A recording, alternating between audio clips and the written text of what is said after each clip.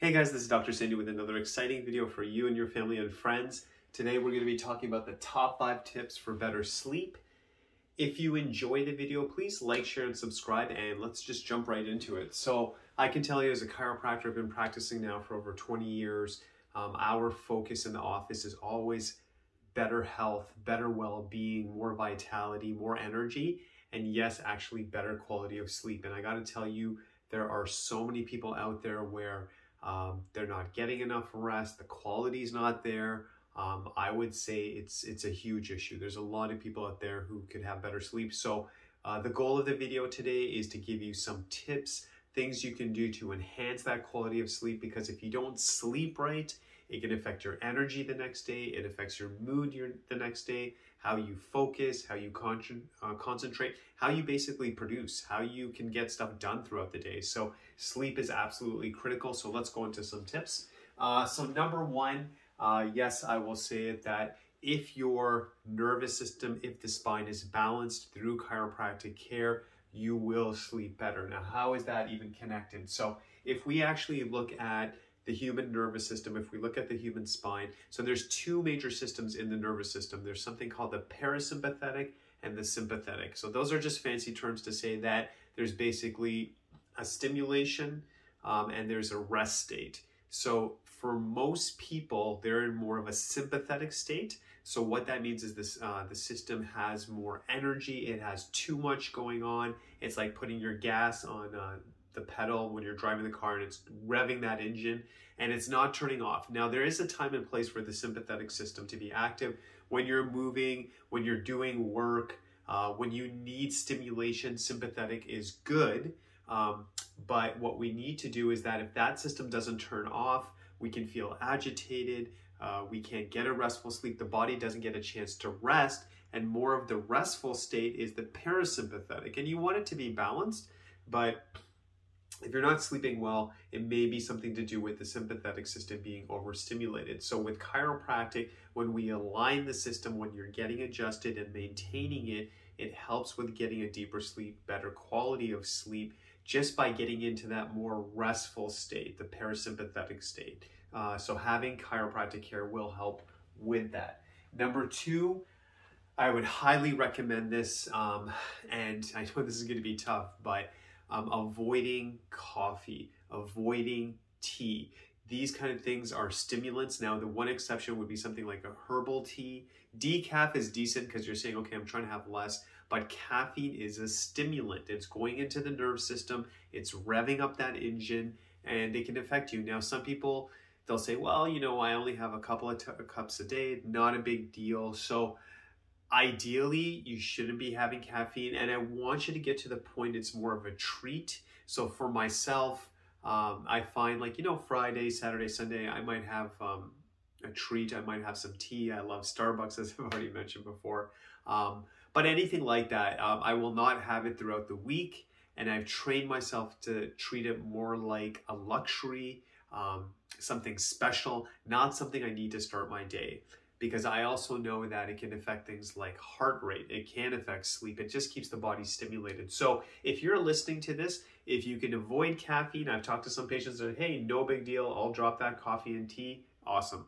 For some of you, it might be a little more challenging. So what you want to do is if you're having two, three cups a day, maybe say that, okay, so instead of two, three cups, I'm only going to come down to one cup. And then that one cup I'm going to have, I'll have it earlier in the morning, nothing after 12 p.m. So kind of work in that way and then start to look at herbal teas, look at maybe having hot milk in the morning, something different, uh, but get away from the caffeines because you'll do better. Um, the other thing I should also mention as well, alcohol does play with the body chemistry. It does affect us. So we want to clean the body out. We want to detox. So let's avoid the caffeine. Let's avoid the alcohol. And these things will start to make a difference. We'll start to uh, get um, better sleep. Um, another thing you want to do, again, the name of uh, this whole kind of theme of the video is that stimulation factor. So before you go to bed, if you play video games, if you're watching TV, if you're on the internet, checking email, all this kind of stuff, so looking at a screen, being engaged is also a form of stimulation. The brain is getting active. It's obviously processing that information.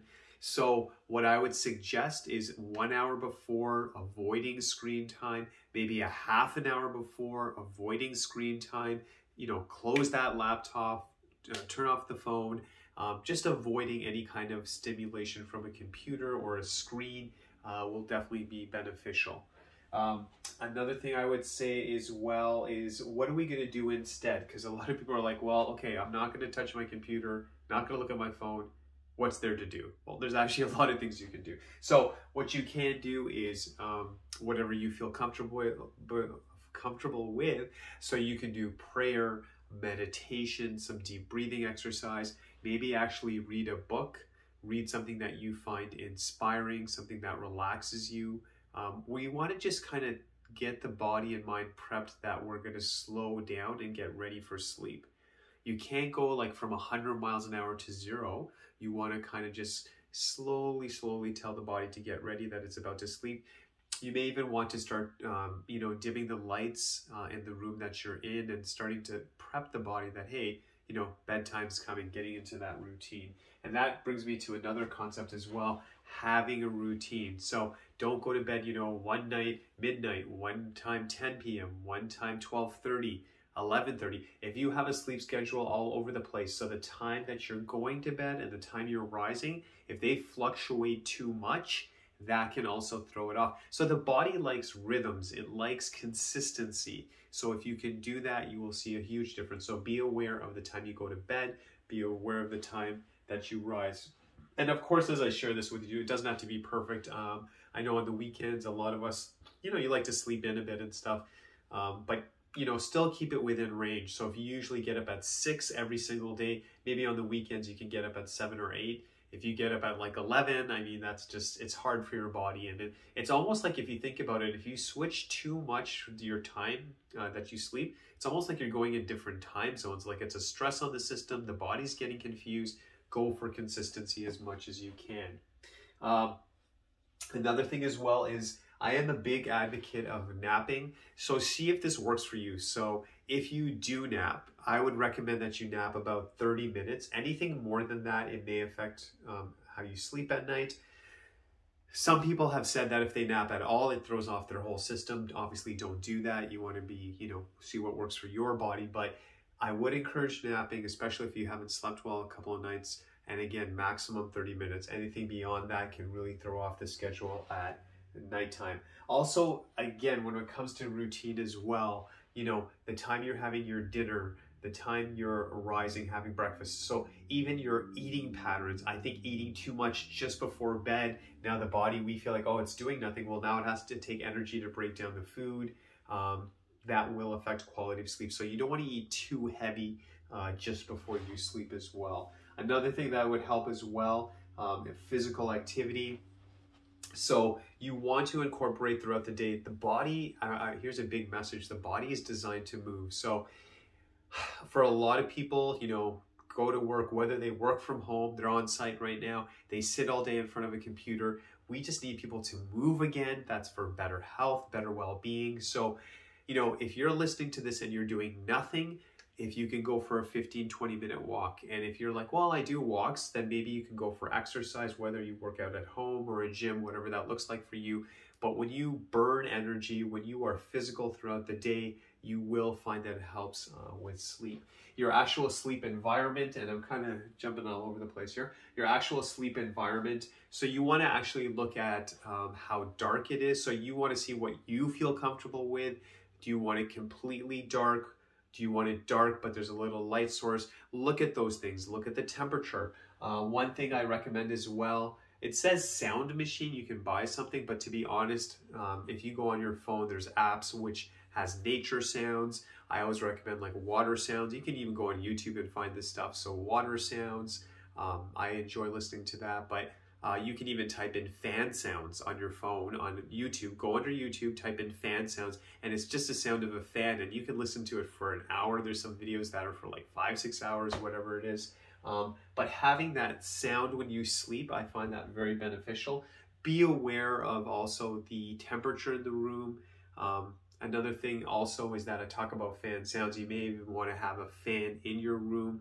You know, just make sure the heating, the blankets, make a little bit of an effort, but you want to get to a point that as soon as your body lies on the bed, it knows it's comfortable, the lighting is good, the temperature is good. Obviously, in Canada, the seasons are changing, so you have to uh, adapt to that. But look at your environment and then even maybe make that investment and say, okay, how is my pillow? And if you're listening to this, I will say from my own experience, I'm a big advocate of something called a buckwheat pillow. So if you go on Amazon, you type in buckwheat pillow, um, it shapes to your head. I find it very beneficial. It's a little more firm. It gives your neck support, which I believe in. A lot of pillows just kind of collapse. I do believe the neck needs support.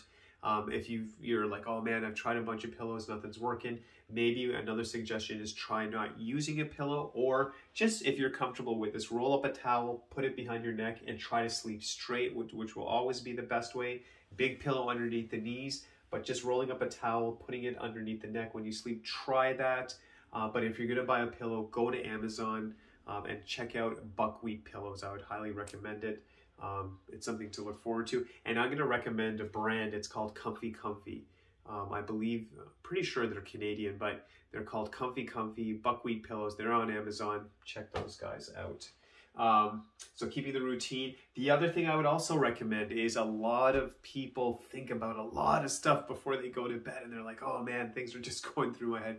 Another technique I would recommend is journaling. So before you go to bed, um, writing down your thoughts. So maybe what's on your mind, what you're thinking about for the next day. Just get those thoughts out and keep that paper there throughout the night. So maybe if you think of something and you find a solution or there's something just on your mind. If you write it out, it's almost like it leaves your mind and then you can get the rest you need. So I, I hope that helps. Another thing I would also recommend as well, I know for myself, I love to have a glass of water by my bed. So um, throughout the night, I'll be honest, sometimes I get thirsty. Um, and then I find the first thing in the morning when you get up, for most of us, obviously, we've been dehydrated. You know, we've slept six, seven, eight hours, whatever that number looks like. But having that water when we first get up, I think that's critical um, I would highly recommend it. And especially throughout the night, if you feel thirsty, uh, you want to keep that handy.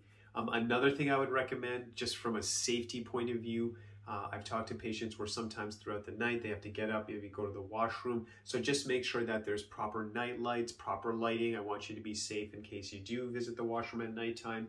Um, and the more you do this, it just it makes the whole sleep experience peaceful, safe, less stressful. So just the whole name of the game is prep, prep, prep. And then once you have that system going, you'll be good to go. You want to even look at what you're wearing. So are you wearing things that are comfortable? Um, I personally love wearing like jogging suits, something that's very comfortable, but see what works for you. Um, I would recommend using more obviously cotton materials so your body can breathe, you're comfortable, whatever works for you again, but these are things to keep in mind. Um, and I, I, think those are the major tips I would share with you. So went over quite a bit of stuff. Um, I want you to look at that, be aware of it.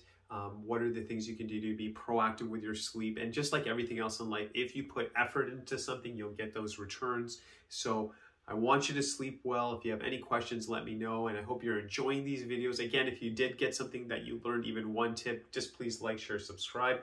And I will be here next week with more information so you can have the best life possible. Thanks so much and God bless.